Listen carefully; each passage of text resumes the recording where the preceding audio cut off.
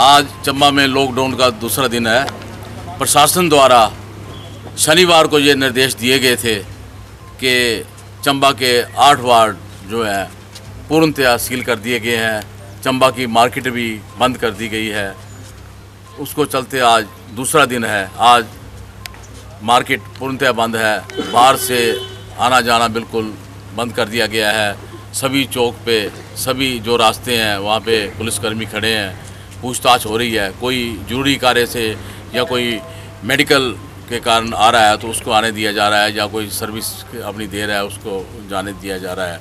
बाकी सबको जो है रोक दिया गया है। शहर में बिल्कुल जो है इस वक्त सन्नाटा है। कोई भी आने जाने का वो नहीं है।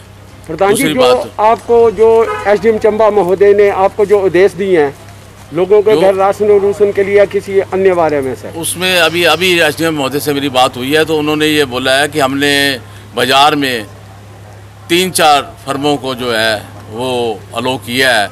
कुछ लोग जो है वह मल्ले में गाड़ी लेके जाएँगे और राशन वगैरह सब्ज़ी दूध छोटी गाड़ी लेके मल्ले मल्ले सप्लाई करेंगे। उसके अलावा किसी को कोई राशन की दिक्कत आती है तो वो भी जो हमारे होम डिलीवरी के जो डीलर नियुक्त किए गए हैं, उनके साथ संपर्क कर सकता है। उनके घर में राशन पहुँचा दिया जाएगा, क्योंकि प्रशासन द्वारा गाड़ी की व्यवस्था भी कर दी गई है कि कई बार ऐसा होता है कि व्यवस्था ना होने के कारण भी किसी के घर में या किसी के महल्ले में राशन नहीं पहुँचता है। तो प्रशासन द्वारा कैंपर की व्यवस्था की है कि जिसका भी कोई ऑर्डर आता है, कोई राशन का तो उसके घर में राशन भेज दिया जाएगा। बाकी जो है, उसका अभी तक जो है दूध दही और सब्ज़ी की तो मेरे ख्याल में सप्लाई जा रही है। जैसे दो दिन से दड़ोग मल्ला जो है, साकड़ा मल्ला जो था, बंद था, सील था तो वहाँ पे भी राशन भी जा रहा था, छोटी गाड़ी में दूध दही भी जा रहा था। और अभी तो है, जो ये कोरोना महामारी है, इससे बचने के लिए ये ये जो प्रशासन ने कदम उठाया है, ये ज़रूरी था, क्योंकि जो लोग संक्रमित हुए हैं, वो जगह जगह घूमे हुए हैं, और उसको रोकने के लिए, चेन तोड़ने के लिए ये ज़रूरी था कि कुछ दिनों के लिए ये जो है, बंद किया जाए।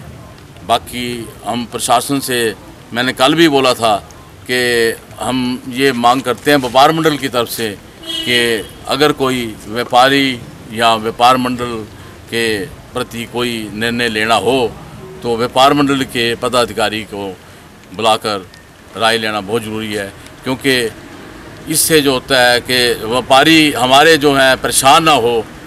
व्यापार मंडल को इससे ज़्यादा जानकारी होती है कि जैसे कि शनिवार को तीन, साढ़े तीन बजे निर्देश दिए गए थे कि वे बाज़ार बंद होगा तो चार बजे पुलिसकर्मियों द्वारा बाज़ार बंद कराने के लिए भेज दिया गया।